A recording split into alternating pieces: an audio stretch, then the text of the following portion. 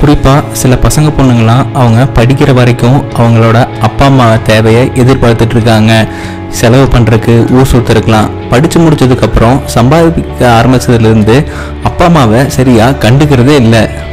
அப்படி தான் இங்கே பார்த்தீங்கன்னா பெத்த அப்பா அம்மாவை விட்டுட்டு பசங்க பிள்ளைங்களாம் தனியாக வெளியே போயிட்டாங்க.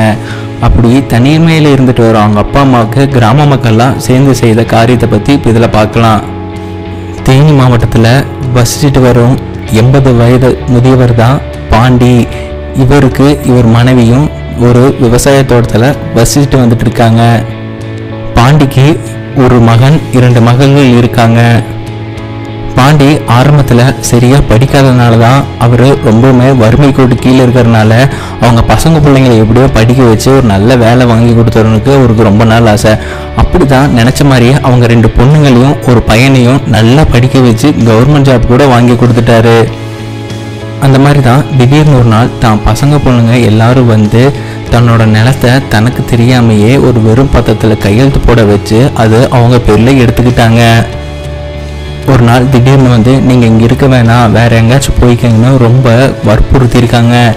கடைசியில் தான் அவருக்கு தெரிய வந்திருக்கு தன்னை ஏமாற்றி அந்த நிலத்தை இவங்க கிட்ட இருந்து அவங்க அபகரிச்சிட்டாங்கன்னு.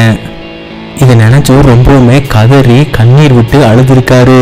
இதை பார்த்து அந்த கிராமத்திற்கு ஊர் பொதுமக்கள்லாம் சேர்ந்து அவங்க பசங்க பிள்ளைங்கள ரொம்பவுமே திட்டியும் கட்டாயப்படுத்தி ஏன் இப்படி பண்ணீங்கன்னு ரொம்பவுமே வன்மையாக பேசியிருக்காங்க.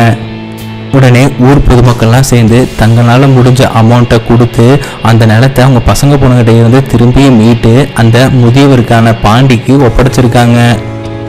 இதை நினச்சி ரொம்பவுமே ஆனந்த கண்ணீர் விட்டு அழுதுருக்காரு.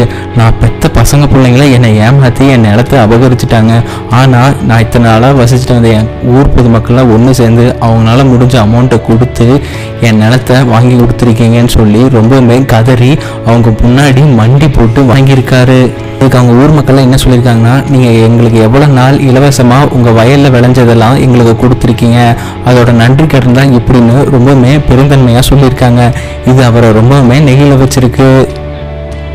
அடுத்த வீடியோ பார்க்குறதுக்கு முன்னாடி எங்களோட கோலிஸோட சேனலுக்கு சப்ஸ்கிரைப் பண்ணி கூடவே பெல் ஐக்கானையும் ப்ரெஸ் பண்ணுங்கள்